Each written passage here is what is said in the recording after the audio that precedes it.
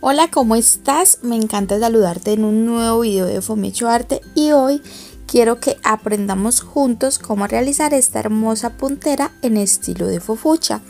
La primera parte de este tutorial será la realización de la cabeza.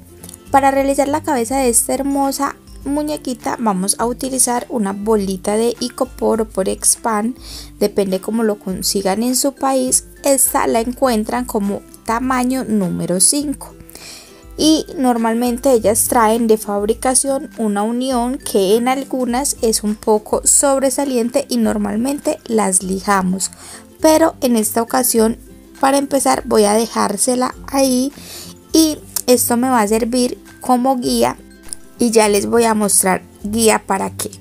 Vamos a hacer el cabello en esta ocasión en un tono naranjado y para ello voy a cortar un rectángulo o un cuadrado de foamy un poquito más grande. Ustedes más o menos calculan que les cubra más de la mitad de su bolita de icopor. Sobre una plancha en temperatura media alta voy a ir eh, como dándole calor volteando de un lado hacia el otro hasta que esté lo suficientemente caliente para hacer un proceso que se conoce como termoformado. Vamos entonces a pasar encima de la bolita de icopor que yo la tenía puesta sobre un tarrito y miren acá se nos queda esta marcación. Ahí es donde está la marca de fábrica que trae la bolita de icopor. Vamos a retirarla y vamos a hacer exactamente este mismo procedimiento pero ahora con un foamy en color piel que será la parte frontal o la carita de nuestra hermosa muñequita.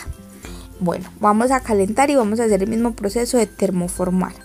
Ahora viene el detalle del por qué dejamos eh, sin lijar esta parte del centro de la bolita. Como acá se nos hace esta marca entonces esa va a ser la guía de corte del foamy que termoformamos para que sepamos cuál es la mitad y, ambas la, y ambos lados nos queden entonces más fáciles de cortar y del tamaño adecuado. Esta primera parte la voy a cortar utilizando un bisturí punta de lanza y vamos a ir haciendo así un cortecito tranquilo. Es que va a entrar un poquito sobre la bolita de copor pero no va a ser pues como tan notorio y no nos va a afectar para nada el proyecto.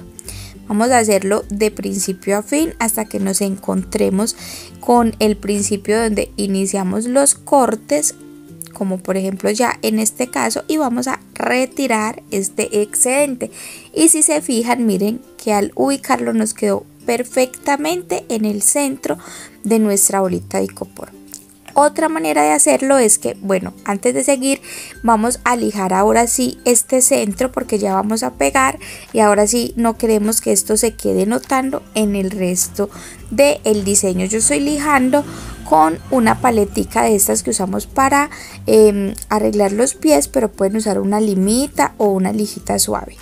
Aplicamos silicona por el contorno en el que estaba el centro sobresaliente y ponemos nuestra capita de foamy color piel, hacemos un poquito de presión para que no nos queden grumos de silicona y ponemos a un lado.